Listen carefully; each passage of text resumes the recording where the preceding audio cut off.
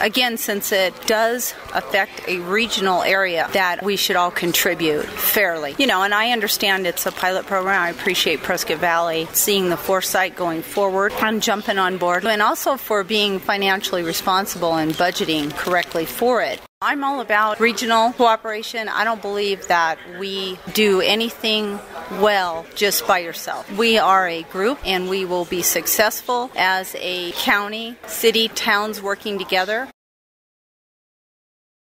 The area of the collision is on an S-curve with installed guardrail. Vehicle lost control on the straightaway, however, of the S-curve where no guardrail is installed. The advisory speed for the curves is 20 miles per hour. The posted speed limit for the area is 30 miles per hour. The driver was traveling at approximately 15 miles per hour. One of the children was flown with serious injuries from the scene to Phoenix Children's Hospital. The other three patients have since been released from the hospitals that they were transported to.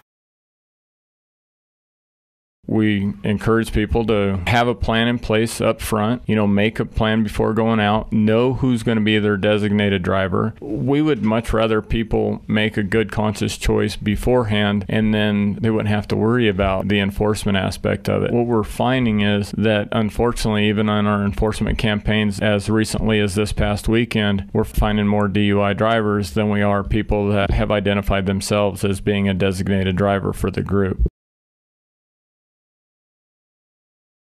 Friday the 6th and Saturday the 7th, the helicopter will land at 3 o'clock, and Santa and Mrs. Claus will be on the helicopter. And we definitely have to thank Guidance Aviation for that. Organizations, individuals, businesses. There's always unique stuff like that. It's really kind of cool to see how the schools will decorate the trees with their mascots or the band director, Tom Weigert's come out. Last year it was a whole bunch of drums stacked up